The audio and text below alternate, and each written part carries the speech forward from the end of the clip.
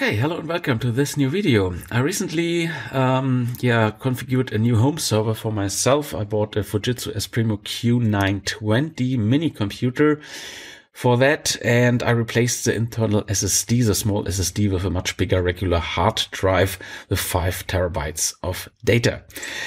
And well, everything worked well. Uh, I used Linux and OpenSUSE as um, operating system and everything worked. However, I figured out that the hard disk was not going into standby, which leads to much higher power consumption than it needs to be.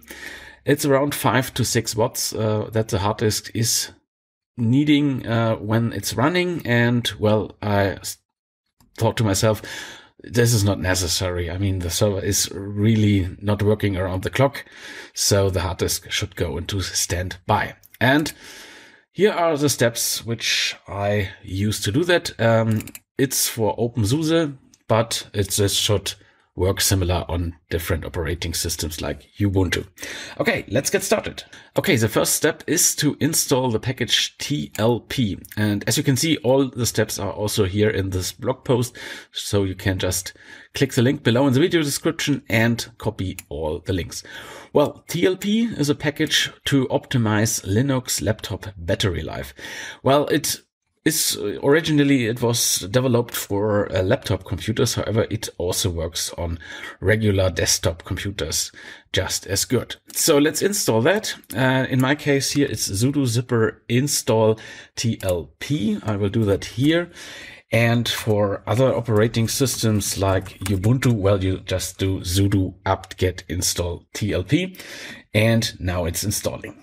Okay, now it's installed and uh, the first step is to figure out which uh, hard disk devices are here in my system with their IDs and names. So I type in lsblk and this gives me an overview about the hard disks here in my computer. And as you can see here, I have one hard disk called SDA and we will need this name for the configuration of TLP. Okay, TLP is configured via this configuration file here in etctlp.conf. So I will just copy this one here over and then edit it with sudo rights and my favorite editor. You can either use Vim, Nano or any other editor. And root password, here we go. And as you can see, uh, there's a lot of information in this file. There are a lot of commands. You can go through all of them and well, uh, configure them for your device. In our case, uh, we only want to enable TLP first.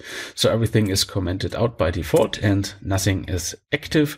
So let's activate it here by TLP enable one. And the next thing we need to do is to find the disk devices section here in this file. So I will just scroll down a little bit. Where is it? There it is. Disk devices here. And same procedure. We remove the hashtag in, in the front and then we can see the devices which are configured. In our case, um, as per default, there are two devices in here, which basically, well, work for almost every standard laptop and computer. So we have this ID here and also our SDA, which we just figured out that this is our disk drive here on this computer. And the next thing we need to do is to command these two in here, disk APM level on AC and disk level on battery. Well, in my case, it's always running on AC because it's a desktop computer. For laptop computers, these values values are here also well effective. Okay. We have two values in here. Um, as you can see, they differ for AC and battery. And for battery, this is set to 128. And as you can see, there are two values in here, which basically are the values here for the disk devices. So the first setting here is effective for this one here and the second value for the second one. And for example, if you want to enter a third hard drive, you would type in something like that and you would add another value here. Okay, let's remove that. And now you might ask yourself what setting is best here. And let's have a look here on this page here. I will also put the link in the video description. There are some explanations here what each number represents. And as you can see, 254 minimum power saving and maximum performance, which is a default setting here for AC and 128 is a compromise between power saving and wear and performance. So that's the value I wanted to use as well uh, for my AC. So I will type in these values here. And basically what this does is uh, after around 10 minutes, uh, the hard disk will turned off if not active. Okay, let's save the file. And now we have to activate the TLP service here in our system.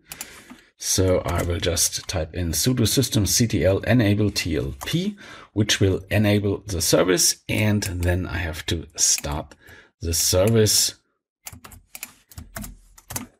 Here we go. And now the TLP service is running and our hard disk, hard disk should now turn off after some amount of time. If you want to check it out, you can use this command here and see the drive state for this computer.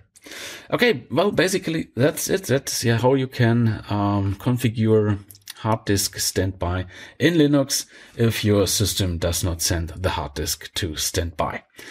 Okay, goodbye.